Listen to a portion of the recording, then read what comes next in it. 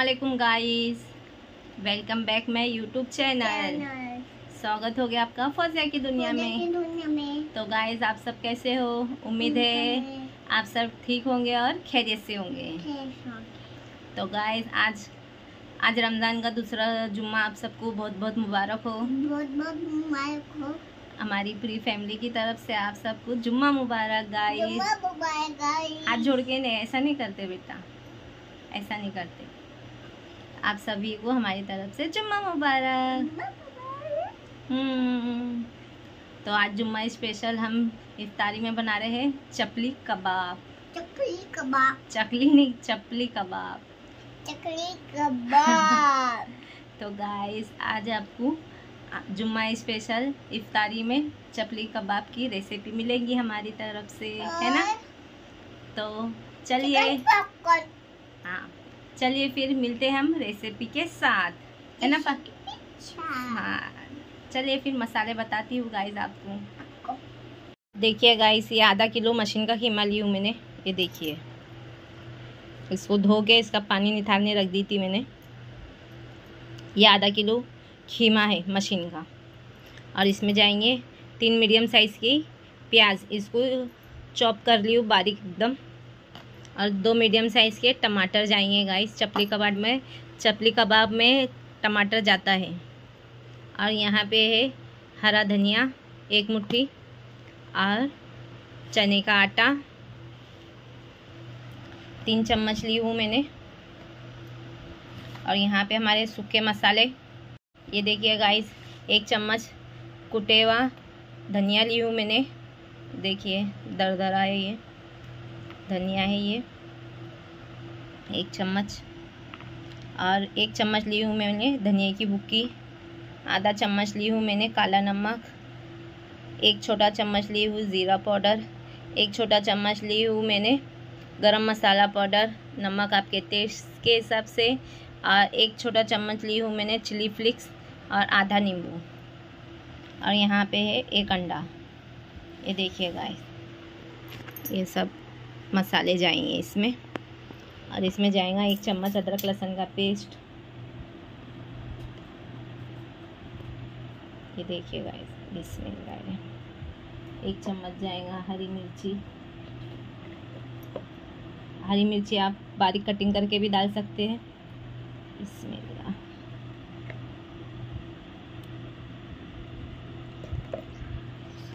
देखिए गाइस अभी इसमें डाल दूँगी मैं आधा नींबू।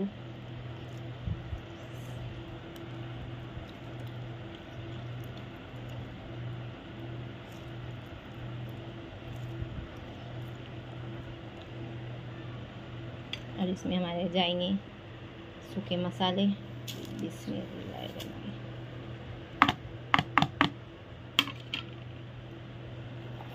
इसमें जाएँगी कोतमीर इसमें जाएँगे। टमाटर।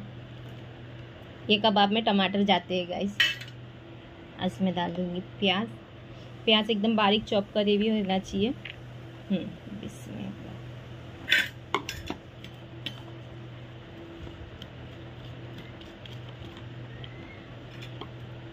ये देखिए गाइस हम्म।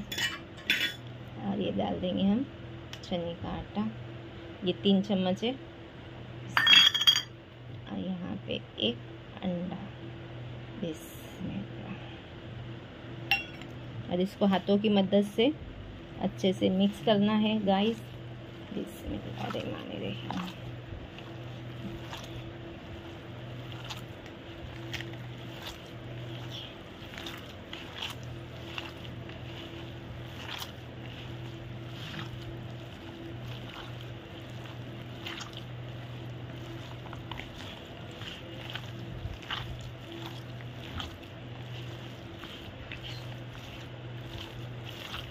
इसमें थोड़ा गिल्ला लगेगा अपने को, थोड़ा। तो इसमें हर बेसन का आटा जाएगा गाइस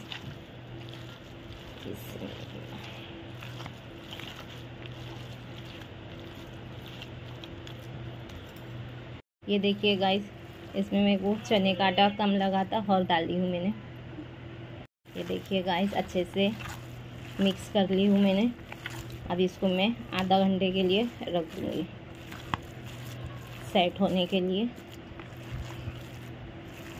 ये देखो गाइस देखिए कितना बेहतरीन लग रहा है ना। देखिए कितना ज़बरदस्त। चलिए फिर मैं आगे का प्रोसीजर बताती हूँ आधे घंटे के बाद। देखिए गाइस हमारा चपली कबाब का बैटर रेडी है। ये देखिए पूरा सेट हो गया अच्छी तरह से। और इसको बस ऐसा लेना है। गाइस देखिए। बड़े बड़े बनाना है गाइस इसको।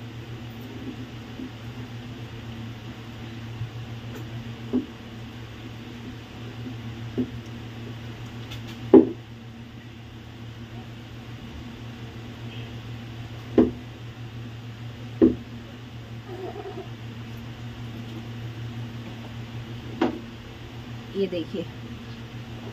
इतने बड़े बड़े बना के अपने को इसको फ्राई करने हैं। देखिए गाइस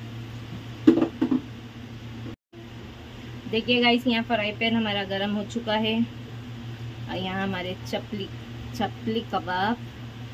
देखिए। अरे ये डाल दूँगी बिस्मिल्लाह। देखिए गाइस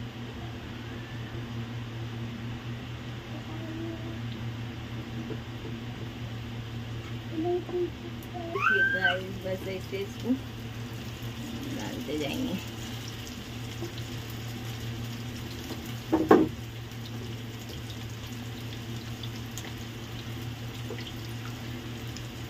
अलट पलट करके इसको गोल्डन फ्राई करना है गाइस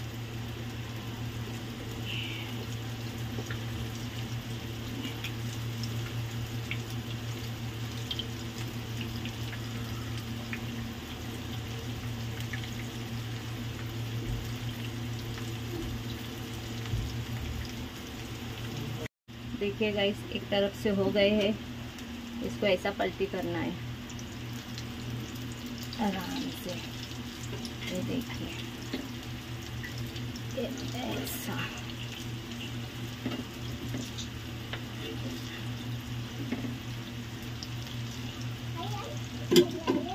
अब ऐसी कलर के पीछे भी ऐसी फ्राई कर लेंगे, फिर मिलती हूँ मैं आपसे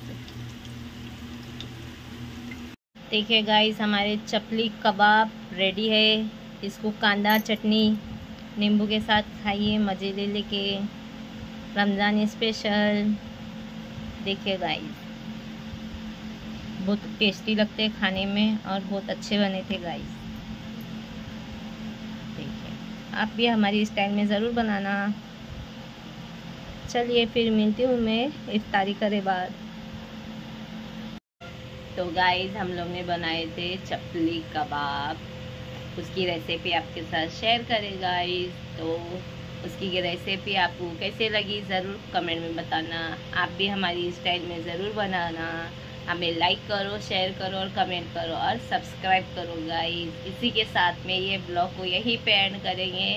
तो अल्लाह हाफिज़, कल मिलेंगे वापिस। चलिए फिर गाइस मिलते हैं आपसे कल।